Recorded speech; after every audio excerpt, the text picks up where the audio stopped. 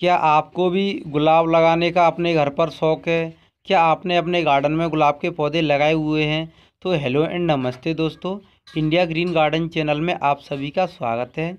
क्या आपके गुलाब के पौधों की ग्रोथ रुक गई है? क्या उन पर फूल नहीं आ रहे हैं? तो आज इस वीडियो में मैं कुछ ऐसे फर्टिलाइज़र आपके साथ शेयर करूँगा, जिनसे आपके पौधे फूलों से भर जाएँगे। तो चलिए वीडियो को शुरू करते हैं।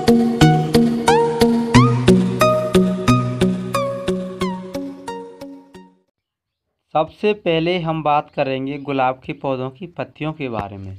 यदि गुलाब के पौधे की पत्तियाँ सही रहेंगी, इसकी ग्रोथ अच्छे से चलेगी तो ही हमारा पौधा ज़्यादा फूल हमें दे पाएगा। आप देख रहे हैं, इस पौधे की ग्रोथ ठीक चल रही है। इसी तरह से आप भी अपने पौधे की ग्रोथ को बढ़ा सकते हैं और पौधों से ज़्यादा फूल भी प्राप्त कर पाएँगे। इसकी सॉइल मीडिया आप देख रहे हैं कि बारिश के कारण इसकी सॉइल मीडिया कुछ डिम्प हो चुकी है तो इसके लिए अब हम इस पौधे की गुड़ाई करेंगे, तभी जाके हम अपने पौधे पर ज़्यादा फूल ले पाएँगे। तो चलिए दोस्तों, फिर मैं इस पौधे की देखिए, इस तरह से हमें गुड़ाई करनी है। गुड़ाई हम इसलिए कर रहे हैं क्योंकि इसकी मिट्टी डिम्प हो चुकी है, फिर हम इसमें फर्टिलाइज़र डालेंगे तो हमारे पौधे पर पूरी तरह से इसका न्यूट्रिशन नहीं पहुँच पाता तो हम इसलिए इसकी अच्छे से गुड़ाई करेंगे। जब वो हमारे पौधे पर पूरी तरह से इसका जो फर्टिलाइज़र है, उनका न्यूट्रिशन पहुंचेगा तो हमारे पौधे तेज़ी से बढ़ने लगेंगे और पूरी तरह से पौधे हेल्दी बने रहेंगे। अब दोस्तों, मैंने गुड़ाई कर ली। अब इसमें जो मिट्टी है, मैं उसे तोड़ लेता हूँ। देखिए, अच्छे से हमें तोड़नी है। मिट्टी में आप देख पा रहे हैं, बारिश के कारण इसमें थोड़ी नमी बनी हुई है। और यहाँ से इसमें देखिए, एक ब्रांच भी निकली हुई है। तो इस ब्रांच को तेज़ी से बढ़ने लग रही है, आप देख ही रहे होंगे।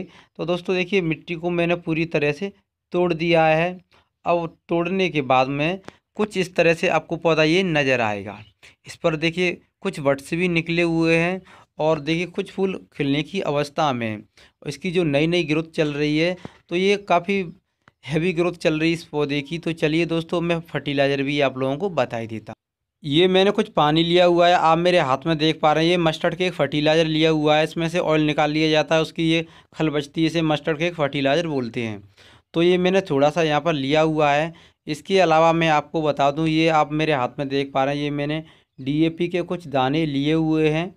तो ये मैंने पाँच छः दाने लिए हुए इससे हमारे पौधे पर पूरी तरह से न्यूट्रिशन मिलता है। इसे डालने के बाद में मैं इसे गोलो लूँगा और करीबन चार पाँच घंटे के लिए मैं ऐसे ही छोड़ दूँगा। चार पाँच घंटे बाद मिलते हैं आपको अब पूरे अपडेट के साथ।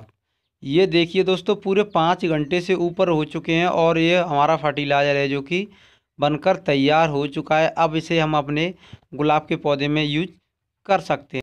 इस फर्टिलाइज़र का प्रयोग पंद्रह दिन में एक बार हम सभी अपने गुलाब के पौधों में करेंगे। इसका बहुत ही हमें अच्छा अपडेट मिलता है। आप जो मेरा पौधा देख रहे हैं, मैं इसी फर्टिलाइज़र का प्रयोग करता हूँ, जिससे कि मेरा पौधा हेल्दी बना रहता है। तो चलिए दोस्तों, देर ना करते हुए इस फर्टिलाइज़र को इस पौधे में मैं डाल देता हूँ। जब भी कोई फर्टिलाइज़र आप डालें अपने पौधों में तो आपको चारों तरफ़ डालना है, एक तरफ़ बिल्कुल भी नहीं डालना है। तो ये देखिए दोस्तों, ये फर्टिलाइज़र मैंने डाल दिया। तो दोस्तों, उम्मीद करता हूँ ये जो मैंने जानकारी दी है, वो आपको अवश्य पसंद आई होगी। चैनल पर आप पहली बार आए हैं तो आप हमसे जुड़ने के लिए आप हमारे इंडिया ग्रीन गार्डन चैनल को सब्सक्राइब करें। आपको वीडियो अच्छी लगी हो तो वीडियो को लाइक करना और शेयर करना आप बिल्कुल भी मत भूलिएगा, ताकि और लोगों को यह जानकारी मिल पाए। तो आपसे फिर मुलाकात होगी किसी अगली वीडियो में किसी नए टॉपिक के साथ। Thank you.